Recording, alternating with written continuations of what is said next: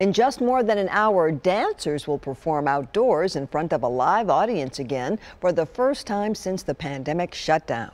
It's a first of its kind performance from the Nashville Ballet live at Ascend Amphitheater. Our company, just like the city of Nashville, has been so resilient this year. And I can't think of a better celebration than bringing live art back to the heart of downtown. Katie Vasilopoulos is a company dancer for the Nashville Ballet. She's retiring after 13 seasons following tonight and tomorrow's performances.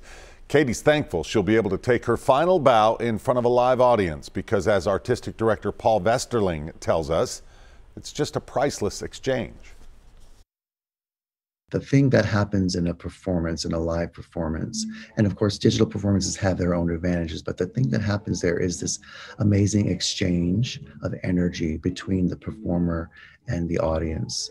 And that's what we've been missing. Katie and Paul expect some new ballet fans to jump at the chance to see a live performance at Ascend. The performances tonight and tomorrow at 7:30 feature live music from Louis York and the Shindellas, as well as a recomposition of Vivaldi's Four Seasons.